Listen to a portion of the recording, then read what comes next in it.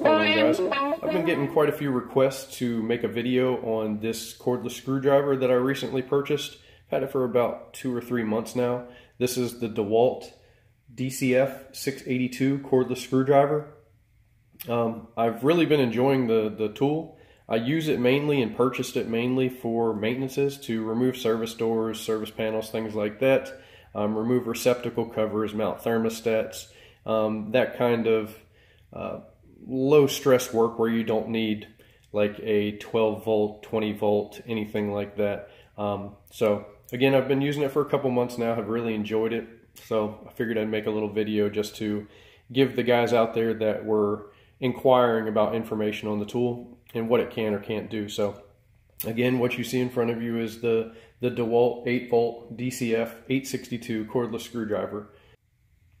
The screwdriver has a quarter inch drive, so it fits all your standard chucks. Has the typical release on your DeWalts. Just has a power button, doesn't have a forward or reverse, does have a lock here. Reason it doesn't have a forward or reverse because it's using what they call gyroscopic technology. So essentially what that does is when you push this button, which right now I have the lock so you don't burn up the battery, but essentially all you do when you unlock it is you just squeeze the power trigger and let me put a chuck in it so you'll be able to see the rotation a little bit better. But basically what you do is you squeeze the trigger and rotate it in the direction that you want. If you want to tighten a screw, you rotate to the right. And if you want to loosen a screw, rotate to the left. Righty-tighty, lefty-loosey. Pretty self-explanatory. Um, it also has a basically a variable speed feature. So the more extreme you tilt the tool from left to right, the faster the tool will rotate.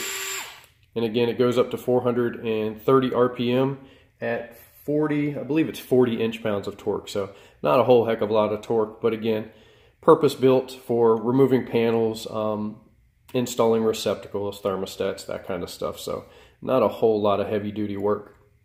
It has the built-in battery life indicator on here. Just squeeze the trigger and you can see our battery. So right now this display that you're seeing obviously isn't going to be on full battery, so but you'll get the idea. This tool also has a built-in LED light, which is pretty darn bright. It stays on after you've engaged the trigger for approximately 20 seconds.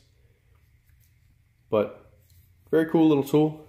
Uses the 8 volt VMAX lithium ion batteries. In this particular set that I got came with one battery, the charger, and the tool. I think there's another set out there that comes with like a 20 or 30 bit um, chuck set by DeWalt. But um, this one was available locally for me.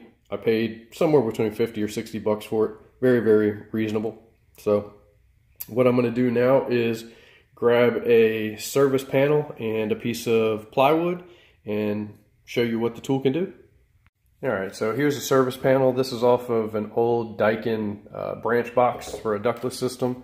And we have a 5 16 screw in here, as you can see right there.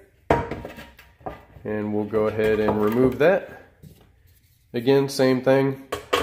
Squeeze the trigger and rotate in the direction that you want the driver to go, whether it's tightening or loosening. Obviously, in this case, we'll rotate a little bit to the left. And again, the faster you rotate, the faster or slower you'll be able to remove the screw. So I did that one nice and slow and we'll tighten it back in and you can see we went really quick there so very very simple premise um, I've also had the question several times that if you'll be able to make a new hole, for instance, if you have a service door that has a stripped out screw. Uh, the answer is yes. Again, it's not purpose built for that because it's relatively low RPM and low torque, but it will definitely do the job in a pinch. And I'll just demonstrate that for you.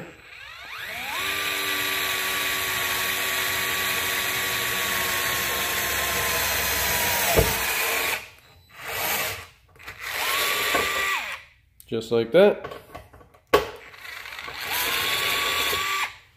Again, not purpose built for it, but can most certainly get the job done. So, and again, we're working with uh, a little bit lower than a full battery charge. Now we have a quarter inch, just a little zip screw, and we're just going to demonstrate popping it through a piece of plywood just to sort of simulate installing maybe a receptacle, a thermostat, something like that, just to kind of, again, give you guys an idea of what the tool can or can't do. So Boom, no problem. Good to go. And again, to remove it, same thing. Super simple. So again, I wouldn't consider it purpose-built for um, putting holes in relatively thick gauge metal. Sheet metal duct, stuff like that, if you have to make a temperature port hole, I have a small step down bit that fits in there and it will it will get the job done. It'll make that nice little hole for you so you can get your temperatures. But again, primarily I just use it for removing service panels and uh, odd and end jobs through maintenances. All right, guys, I think that's it on this one. I'm going to go ahead and wrap this video up. Again, I just wanted to make this relatively quick video just to sort of clarify and give some of the guys that were inquiring on social media some more information about the tool. Um, so far, again, uh, in the short time that I've had it, I think it's great. I've been enjoying it. Fits perfectly in my MB2 bag. It's great for maintenances, removing service doors, those those lighter jobs that you don't necessarily need to carry around a 20 volt impact or anything like that. So at the price point that it is and what it does, um, it's purpose built, in my opinion, perfectly for maintenances. So again, I hope that helped.